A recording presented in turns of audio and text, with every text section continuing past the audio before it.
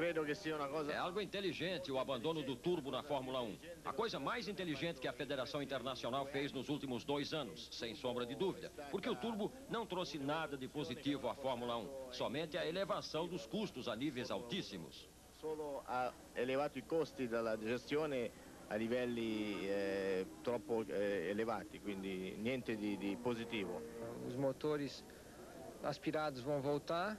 Uh, toda, todo o empenho e esforço de todas as fábricas envolvidas na Fórmula 1 vão se concentrar em cima de motores aspirados, que são os, na maioria da, dos motores utilizados nos carros de rua.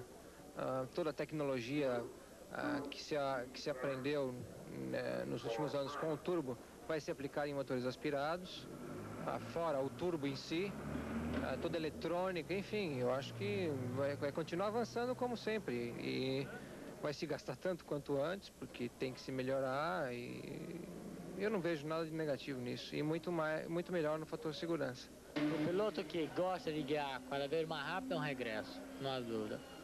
Como segurança, no ano que vem, talvez seja é uma coisa boa. Esse ano vai ser muito pior, porque a diferença de carros, turbo e carro com, com, com aspirados, em certas pistas vão ter uma diferença quase de 400 cavalos.